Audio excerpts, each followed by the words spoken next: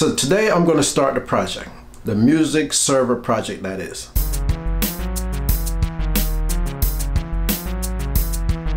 Okay, so let's get on with the installation part of it. I already took everything out the box as far as the case is concerned, and I showed that to you in the last video. And here's the power cord, here's the ethernet cable, and the other part of the power cord. This is the power adapter.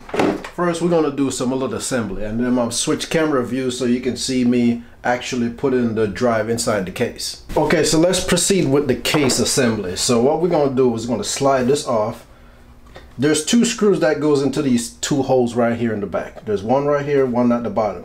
But it didn't come with the screws already installed because they're in the box. So what we have to do now is just to slide this part off by just grabbing one side and pushing on the other. Which is going to take this part come straight off. Inside the case, we got the two slots for the drive. One at the top and one at the bottom. So basically all you're going to do is line up the little pins on the back of the hard drive and just slide it in there into the slot and it's going to snap into place.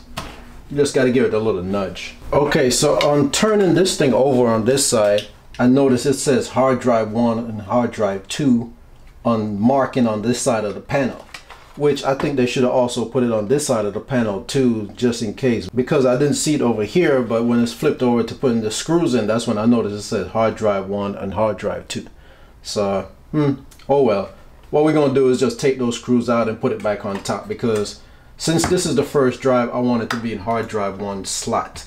That way I can remember in the future which drive is which. All right, so now that we got the screws in there, it's all locked in place on both sides. We know that hard drive one goes on the top. So if you get this case, no second guessing. If you have one drive, it goes on top and your second drive goes at the bottom. So that part of the task is finished. So now we can slide the case back on because there's nothing else to do. That's the cool thing about these newer hard drive is the fact that, you know, there's no wire. You know, I've started my days where you had to hook up the wires and hit the power wire and put the data cable wires and all this stuff. These new drives, ever since they invented them, it's like, mm, the best drive. Because the pins just slide and hit each other.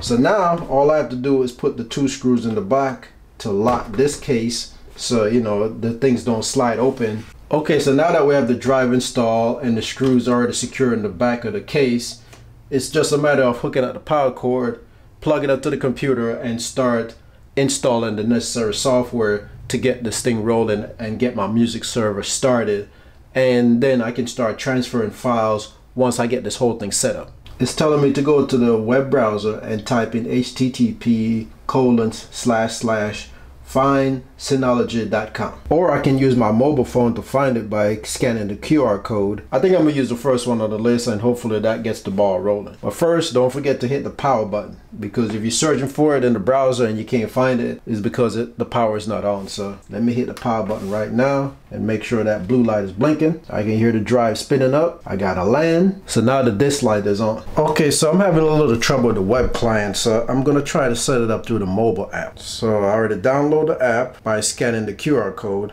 and now I'm to go through the sign up procedure. Make sure your mobile phone and NAS are on the same router. Yes, it is. Power on the NAS and wait until you see the status indicator orange light or hear a beep sound, which I already did. So now it's telling me that the DSM is not installed. So I'm gonna install that right now. So now it's warning me that the drive needs to be installed and it will be formatted. Now there's nothing on the drive, so that's fine. So I'm gonna click OK. And now it's installing the DSM software. So right now it's at 50%. It's saying that it's gonna take about 10 minutes total to install this. But in the Movie Magic process, we're just gonna speed up time. Okay, so the installation is finished and it's in the process of restarting. And of course, during this installation and restarting, it's saying do not power off the NAS. Now it's telling me that restart is going to take a short time.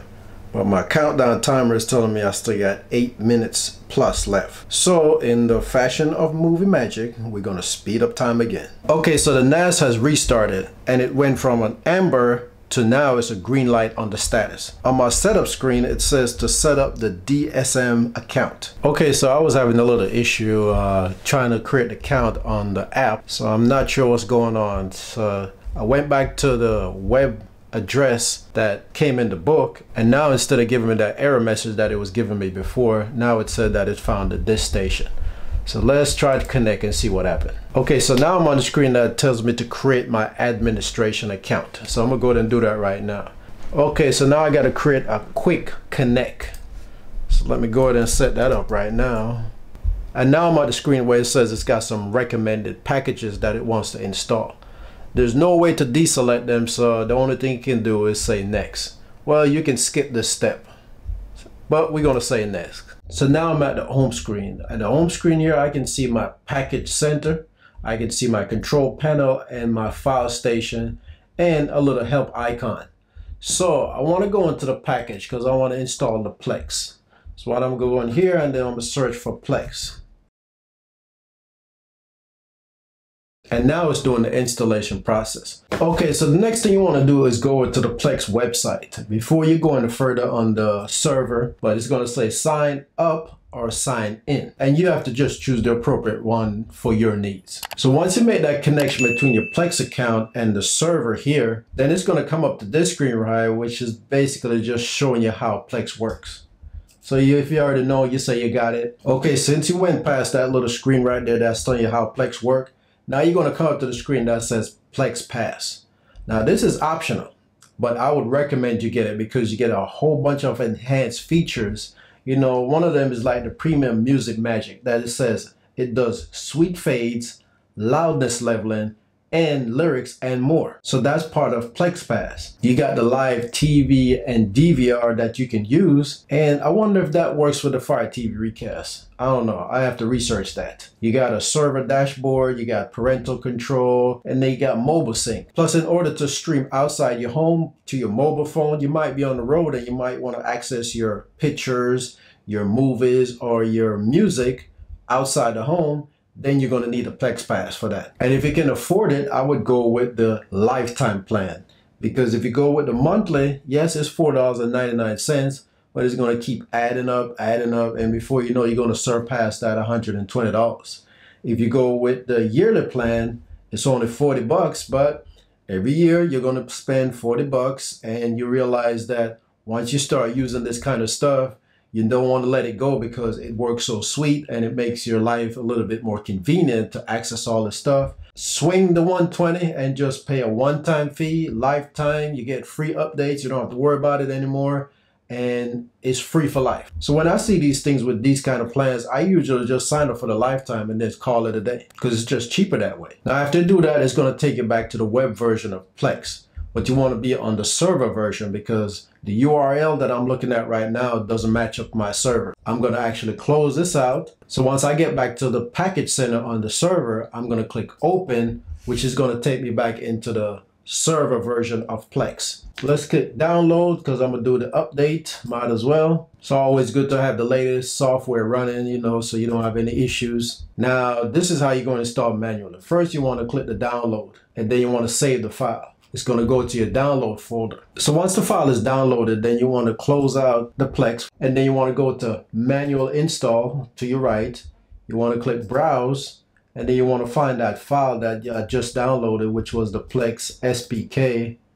And then uh, I'm going to click open, next, and then I just have to wait because right now it's processing that file. And that's how you do that update. Anytime it says manual install, basically that's how you do it. Okay so looks like the update was successful so we're going to go into plex again by clicking open. And now i have a little yellow bar up top that says unclaimed media server has been found on your network. Claim it now. Yes we're going to claim it. And you can know when you're on the server because it has your IP address in the address bar. Can't show your mind, but you know, trust me, when you see the 192 that 168 that one whatever number you have then that's where you know you have it set up that way. Okay so after you click the claim server button it's going to go through some stuff and then you want to like close out after that you know close the plex tab again one more time and then you want to go over here and click open and once you open it, it's going to come back and you should see your server name, a little lock by it, and no more orange bar because now everything is set up for your server. Okay, so now that you have everything set up, whether you go with the Plex Pass, the monthly, the yearly, or the lifetime, you claim your server, one more thing you need to do is set up remote access. Now remember the remote access is only available to people who go with the Plex Pass. So from your home screen, let me go back to home. You want to go to settings and down there where it says general, you want to go to remote access. So you want to click on that little tab right there and then you want to enable remote access. And remote access is going to give you the ability to access the server outside your home. So you can stream your music while you're in your car, Bluetooth it into your head unit. You can watch whatever movie that's on the server outside the home but you know, all of that's available once you add more stuff to it. Right now, it's going to be concentrated on music because I have music on so much different drives. So all these music that I have in different folders and on different drives, I want to consolidate them into one and have that one meter sort where I have access to. All right, so that's going to be it for this video. I don't want to overcrowd it with too much information right now. I wanted to take you through the steps of setting up the drive as far as installing the hard drives and everything, and then set up the Plex Pass, installing the software, and all that stuff. I hope it was understandable, and if you have any questions, just leave in the comment and I will help you out. Okay, so stay tuned to part three of this video, and in the meantime, if you want to start looking for all your media or finding all those drives that you have your files on, you know, your music files, just go ahead and gather them up so you can have them all ready to go when I show you how to add them to the server. All right, so that's going to be it for this video. Stay tuned, and I look forward to see you next time. Have a good one.